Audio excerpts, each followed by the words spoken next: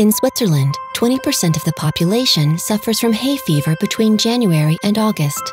During that season, people try to avoid the outdoors, but the truth is, pollen is carried indoors as well.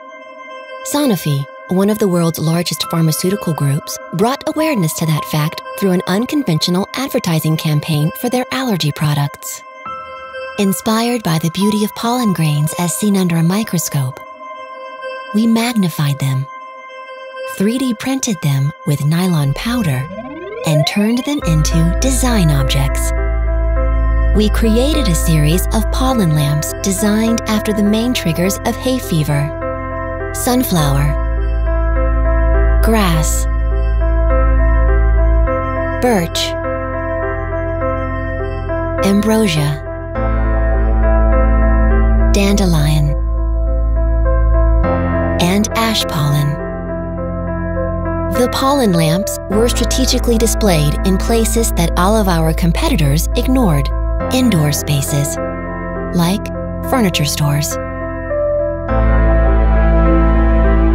concept stores, bars, fitness clubs, hotel lobbies, workspaces, and of course, at points of sale.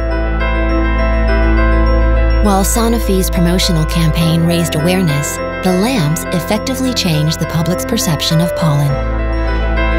People were so enthusiastic about the pollen lamps that we have started producing them for sale.